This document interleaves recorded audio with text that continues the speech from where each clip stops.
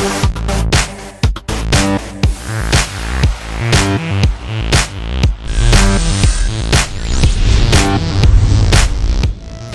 రెడ్డి గీత గోవిందం విజయాలతో విజయ్ దేవరకొండ గ్రాఫ్ అమాంతం పెరిగిపోయింది.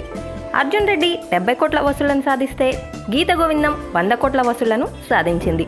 ఎలాంటి బ్యాక్గ్రౌండ్ లేకుండా టాలీవుడ్కు వచ్చిన అనతి కాలంలోనే వంద కోట్ల హీరోగా ఎదిగాడని దేవరకొండను అంతా నెత్తిమీద పెట్టుకున్నారు. ముఖ్యంగా మెగా నిర్మాత అల్లు అరవింద్ అయితే విజయ్పై వచ్చిన విమర్శలు చూసి అతని వెనుక నేనున్నాను అంటూ ముందుకొచ్చారు.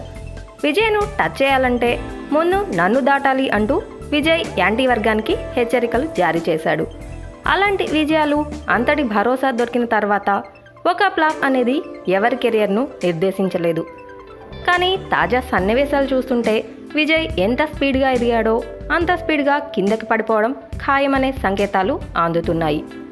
విజయ్ కథానాయకుడిగా నటించిన నోటా చిత్రం డిజాస్టర్ టాక్ తెచ్చుకున్న సంగతి తెలిసిందే.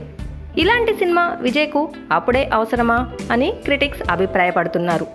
ఇక పబ్లిక్ టాక్ ఘోరంగా వచ్చింది. రెండు విజయాలకే విజయ్కు కొమ్ములొచ్చేశాయి. ముఖ్యమంత్రి పాత్ర అంటే అంత ఈజీ అనుకున్నాడా?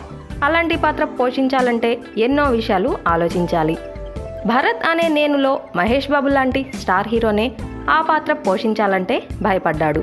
అంతకుముందు ఒకే ఒక్కడులో అర్జున్కు శంకర్ ముఖ్యమంత్రి పాత్ర అనగానే నేను ఓకేనా అని శంకర్నే ప్రశ్నించాడు.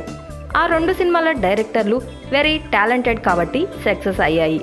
దర్శకుడిగా పెద్దగా అనుభవం లేని ఆనంద్ శంకర్ కథను విజయ్ నమ్మి సీఎం రోల్ చేయడం అనేది అవివేకంతో చేశాడని పబ్లిక్ అభిప్రాయపడుతున్నారు.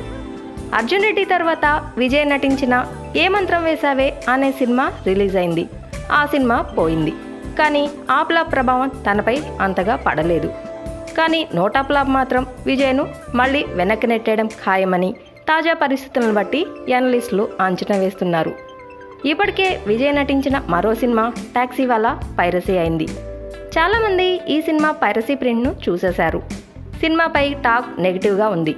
ఈ నేపథ్యంలో మరో ప్లాప్ ఖాయమనే ప్రచారం షురు అయింది. వెంట వెంటనే రెండు ఫ్లాప్లు అంటే మార్కెట్పై ప్రభావం ఖచ్చితంగా చూపిస్తుందని ఎనలిస్టులు అనుమానం వ్యక్తం చేస్తున్నారు. For interesting more updates please subscribe our channel